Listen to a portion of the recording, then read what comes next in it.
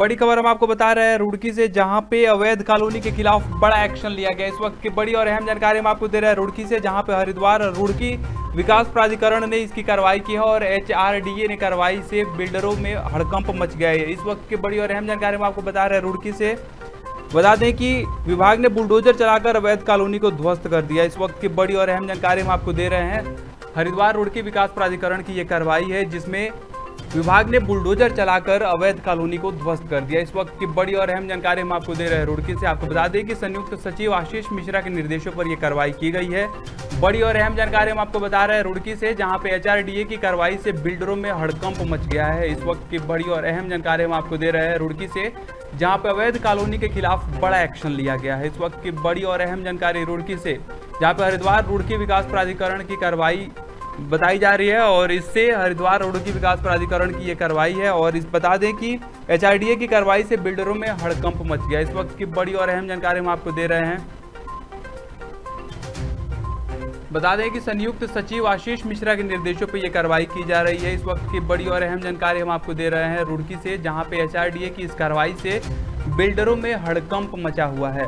बड़ी और अहम जानकारी हम आपको दे रहे हैं रुड़की से, जहाँ पे अवैध कॉलोनी के खिलाफ बड़ा एक्शन लिया गया है और हरिद्वार रूड़की विकास प्राधिकरण ने कार्रवाई करते हुए अवैध कॉलोनी पर बुलडोजर चलाकर उसे ध्वस्त कर दिया है। इस वक्त की बड़ी और अहम जानकारी हम आपको दे रहे हैं जहाँ पे बुलडोजर कार्रवाई करके अवैध कॉलोनी को ध्वस्त कर दिया गया है। वहीं इस पर अधिक जानकारी के लिए हमारे साथ रुड़की से वहीं इस पर अधिक जानकारी के लिए हमारे साथ रुड़की से हमारे संवाददाता सलमान मलिक जुड़ चुके हैं। सलमान बताइए क्या है पूरा मामला? ये अवैध जो कॉलोनी किया गया है या किसी विशेष किसी जो। जी, तो इसमें क्या कोई रहने वाले भी लोग थे या फिर ऐसे ही ये कॉलोनी अवैध मतलब इस पे कब्जा किया गया था?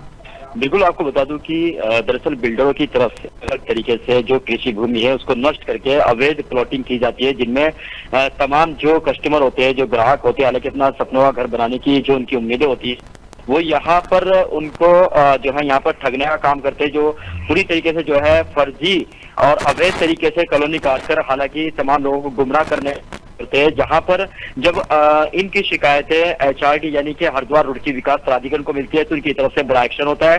उन कॉलोनियों पर सीलिंग की कार्रवाई की जाती है कार्रवाई की जाती है।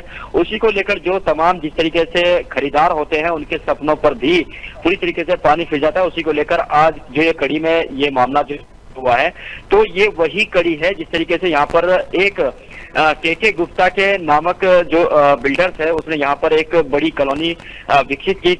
कर शिकायत एचआरडीए को मिली, जिसके बाद संयुक्त सचिव आशीष मिश्रा के दिशा निर्देशों के बाद सहायक अभियंता की मौजूदगी में यहाँ पर जो है कार्रवाई की गई। हालाँकि कॉलोनियों पर जो है, बुलडोजर चलाया गया जो पूरी तरीके से ध्वस्त कर दी गई और आगे भी चेतावनी दी गई थी। अगर इस कॉलोनी को विकसित किया गया तो आगे उनके खिलाफ और कड़ी कार्रवाई की जाएगी। हालाँकि जो विभाग है, उनका साफ़ तौर से कहना है कि पहले कॉलोनी काटने से पहले या प्लॉटिंग करने से पहले चित्र पूरी तरीके से तैयार कराएँ और उसके बाद जो है कॉलोनी का जो है लेआउट पास कराए। उसके बाद ही कॉलोनी को जो है विकसित किया जाए। हालाँकि अगर कहीं भी इस तरीके की अवैध कॉलोनी काटी जाएगी, उसके खिलाफ इसी तरीके की अलग तरीके से भी जो है बड़ी कार्रवाई अमल में लाई जाएगी। जी।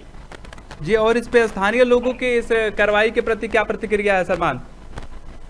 देखिए, आपको बता दूँ कि जो तमाम लोग हैं जो यहाँ पर खरीदार होते हैं, उनको यहाँ पर गुमराह किया जाता है, जो पूरी तरीके से जो मानचित्र इनके बिल्डरों के द्वारा जो दर्शाया जाता है, हालाँकि वो यहाँ पर जो ग्राहक है, वो पूरी तरीके से गुमराह होने के बाद यहाँ पर प्लॉट खरीद लेते हैं, लेकिन बावजूद इसके जो एच यानी कि हरिद्वार रोड की विकास प्राधिकरण है, वो भी बाकायदा तमाम जो कस्टमर है, जो ग्राहक है, खरीदार है, उनको पहले से ही चेताता आ रहे हैं, हालाँकि उनको पहले से ही जो है आगाह करते हैं कि अगर कभी भी, कहीं भी किसी तरीके की ऐसी कॉलोनी विकसित होती है तो पहले उसकी जानकारी हरिद्वार रुड़की विकास प्राधिकरण जो नजदीकी क्षेत्र में जो कार्यालय है, वहाँ पर जाए और तमाम जो कर्मचारी और अधिकारी है, उनसे उसकी जानकारी जुटाए। उसके बाद ही अपने सपनों का घर बनाने के लिए वहाँ पर जो है ज़मीन खरीदे, भूमि खरीदे या मकान बनाए और उसका भी मानचित्र पास कराए। उसके बाद ही तमाम मानकों को पूरा करने के बाद ही वहाँ पर अपना सपनों का घर बनाने की प्रक्रिया शुरू करे। हालाँकि यहाँ पर जो बिल्डर्स है, कहीं ना कहीं मोटी कमाई वो यहाँ पर करते दिखाई दे रहे हैं क्योंकि वो अवैध कॉलोनी काटते हैं